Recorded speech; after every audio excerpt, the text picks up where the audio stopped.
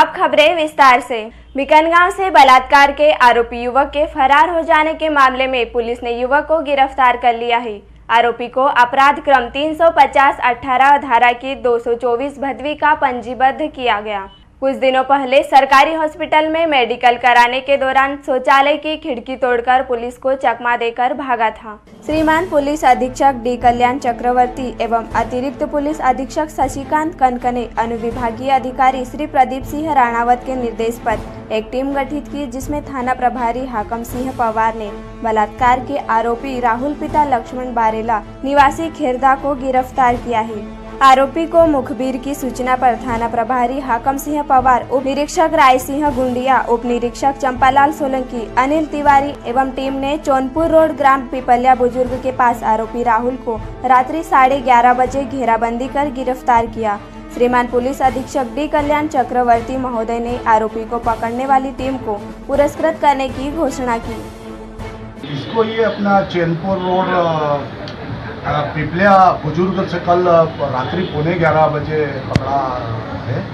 और इसमें संक्षिप्त घटना में ये बता दूँ कि दिनांक ये सत्रह नौ दो हज़ार अठारह को अपने घर खेरदा से बिना बताए चली गई थी।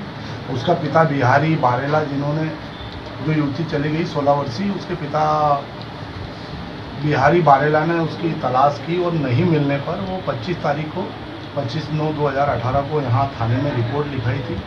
पुलिस ने उसी तारतम्य में, उसका संदेह में नाम आया था, राहुल। बारेला उन्नीस वर्षीय। ये सेलदा का इसको ले गया है तो उसकी तत्परता से तलाश करके बम नाला से उसको 25 दिन को ही गिरफ़्तार किया था।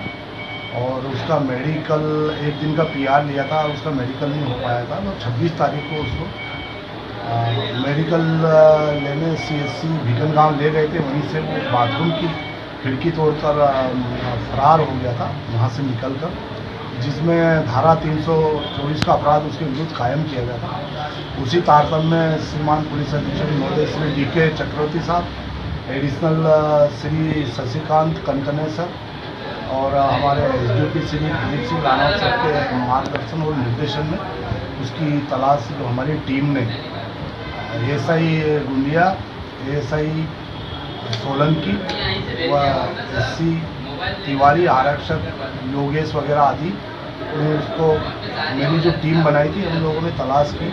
कल उसको पौने ग्यारह बजे रात्रि में उसको वहाँ पकड़ लिया गया, चैनपुर पिपलिया खुर्द गाँव के पास से। और उसे अरेस्ट कर लिया गया है। आज उसको फिर मेडिकल करा के जे पे माननीय न्यायालय पेश किया गया। ब्यूरो रिपोर्ट डिजियाना न्यूज़ बीकनगांव।